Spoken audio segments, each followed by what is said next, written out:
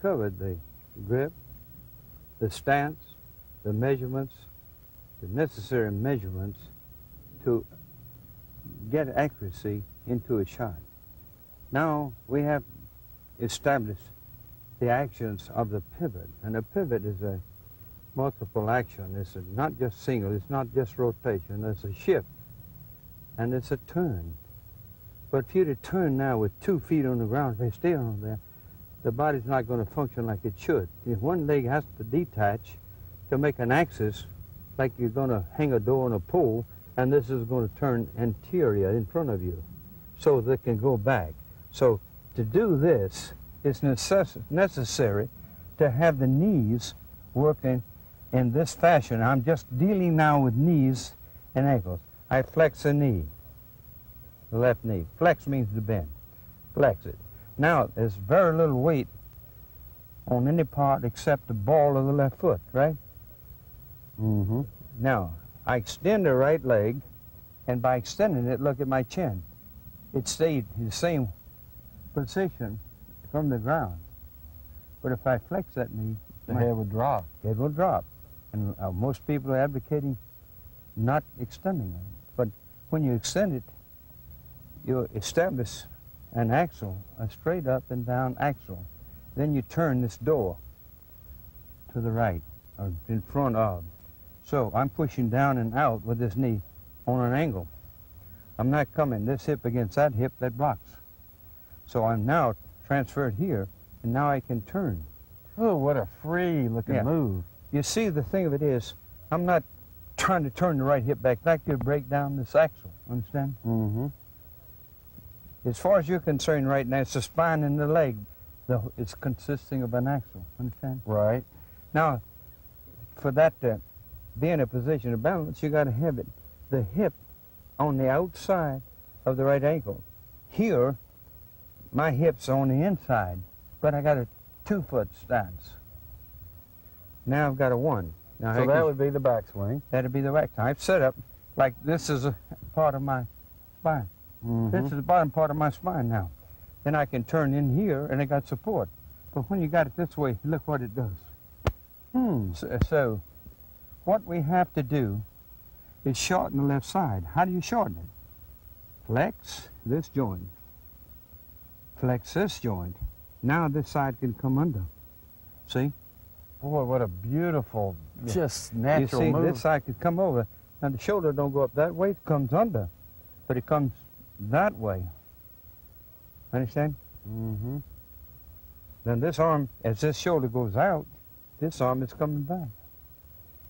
Hmm. Now, to establish this thing, I want you to get the, that rope and show the knee and he, ankle exercise, but we can go in that a little bit later. Let's Okay. go into this a little deeper because we're only taking it back to here. Now, what, what happens when you take it back to here? Your hands are, the right hand is dorsal flexion, like that.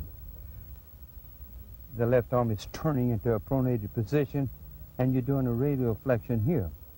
So as you go back, that thumb is pointed up the line from that ball up to that right shoulder, and the right shoulder is turning back that. You're not going up up the line that you want to go, the ball to go on. You're making a curve. You're dealing now with circles. Mm-hmm. And the only time you can get centrifugal force is with the circle. You have to have a restrainer. When you're throwing something, it, it doesn't have any restraint. It's free. It's in free flight. Mm-hmm. When you have it attached in, you you control the size of the circle. Oh, and only only then do you create centrifugal force. And that's what we are trying to create to get more power in a golf swing. On on on the pivot that you're talking about, like to me, this is the absolutely the most incredible thing that you ever taught me. Yeah. And what is it's it's different than you know some of the modern day teaching is that it involves three planes of motion as opposed to just one. Yeah. Could you kind of let me explain that just a little bit? Well, you, you see, when you shift this way, that's one plane, right? Now you, you're going this way with this, this leg, like it's coming out in front of that leg. Mm-hmm. Now, I have a bottom part of the spine. The bottom part of the spine is the right leg. But now if you turn this way, where's your where's the bottom half of your, your spine? You have no support, right? Mm-hmm. If you have no support, you can't hang a door on anything that will work except the upright. So if you tried to turn your right hip, Then you, your initial motion you're putting yourself turn. in a negative position, and it'll cause you to have to loop the club into a figure eight to get to the ball. But a turn, so like, so if a person, almost everybody that plays golf, has some kind of rotary motion. Yeah, the rotary motion, though, is not the way that it's being taught. Most of the books will tell you to, to turn your right hip back inside of your right ankle. Then if you do, you're standing on your left leg. I never seen a pitcher pitch off his left foot if he's throwing right-handed. That he stepped on in right and he steps to the left. Now, if you're, you're already here like this, you're on the left, so how can you step? They say the, the longest journey starts with a step. the longest journey starts with a step. So I'm stepping over here to the right side and doing an upswing. I'm going to step over to the left side. Now I've got a bottom half of my spine supporting the upper half. Mm-hmm. Now it's not supporting here. There's two hips supporting it, but it has to be one to rotate that right side. So if you if you just had a say like if you just had if you started trying to turn first or turning a rotary motion, Your head, your head is swaying. your head will your instinctually shoulder- even shoulder- if you kept it on there, it would almost be like you said earlier that someone could just might as well come and cut your right leg off because you don't it negates all the force that you're trying none, to wind up. none. It's just like a what you call a building destroyer. It's a big hunk of cement on a pendulum. They pull it back and let it go, and man, it This it's motion right here? Yeah, Like a It's- like, like the lateral motion, like these motions when you know the people that look view the tape when you lift them out and that they, they become individual motions as opposed to being blended, they look amplified, don't yeah, they? yeah. Like if someone was to say, "Well, boy, that looks like a sway," Yeah. you know, if you move like this and it's not accompanied with something. Yeah. Well, what would you do about consistency if it's doing just the opposite? Turn this thing up here. Now your head is going there and the head there. That's a metronome, and this is a pendulum with your head here. Now move your way to the right. Mm-hmm. Now, now that that leg becomes part of your spine. Yeah, it's just one long. It's like I start off on a two-foot balance. I shift to a one-foot And balance. then you, then you just swing your arms back from there Yeah. up the oblique plane. That turns your shoulders. Right. And then when I'm coming back down, though, I- all the slack is out between all the joints at this point. right, Now you have to get over here. Now you're just like you're gonna a pitcher is gonna step over here like this. Now you're coming uh, underhand throw upward. Up. like so. Yeah. All right. And most everybody got it up here like this and say, I got to come down the ball right that way. If you come that way, you'll swing in around your left leg, it drive the ball into the ground, it won't go anywhere. But the blending of those planes of motion, you have like a, like on the pivot, we have like a little, Lateral flexion. and then this way, see, my chest can wind up over my right leg. Yeah, that's right. You don't Uh, stop. But if I was turning, see, I, You- I mean, I, it's just be, I'd be back shifting, right? Yeah, you have to do the opposite to get out. So it's, it's negating the force.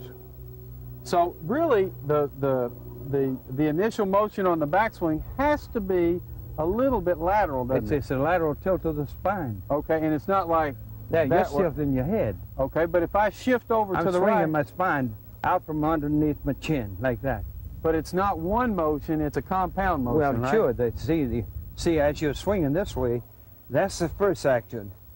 Now look what it's doing. It- it- that's taking my arm down to there, isn't it? Mm-hmm. It's also making this ilium crest. That's this left hip cave in underneath the rib cage like that Mm-hmm. to establish a one one plane from your neck down to the ball. Like so. And now see, this is that leg is the bottom half of the spine. mm-hmm. Now what have you got here like this? You don't have any support Mm-hmm. unless you. But when you, but if I, if I just, see, it's not just one move laterally. No. As I turn, see, my, as I move just a breath, you know, to the right with Yeah. my hip, Yeah. see, as I turn, this left hip moves in towards It between moves the the ball. hand and arm and shoulder to, out toward the ball. and it's kind of a retro motion, isn't it? Well, they don't get retro until you got over to here. All right. Now look here. I'm coming here, and I turn to here. Now, th- th- as you go up the swing, now look here. My hip, my hip is on the outside of my leg, and I can stand up one leg. I'm 70% loss of Well- locomotion in that leg. Due to a stroke three years ago. Yeah. There, I'm here. Now, unless, unless you have a spine that goes from your, this is the sternum slot right down here to that leg, you don't have any chance of hitting the ball with any consistency. hmm So another thing too, like you see a lot of golf injuries. You know, if you're in a flex knee position, Yeah. the only thing, like if I'm flexing my knees, here, watch out here, Michael. Uh, if I'm flexing my knees like this and I try to turn like this, I don't have any support from my upper body. Well, you're spinning on the bottom of your spine. like that. Yeah, yeah.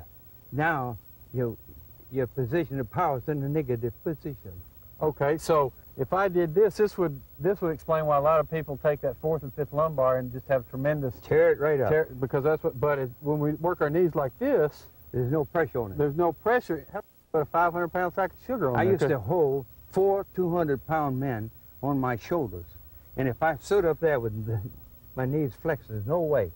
I'd, I'd let them climb up on me just, and just boom. stack up. And I'm standing here like this with my hamstrings, the quadriceps in a locked position, Mm-hmm. all of this, the fascia latae, sheath, all these four muscles coming together here. But if they're loose like, like that, nothing. You have no balance. Mm-hmm.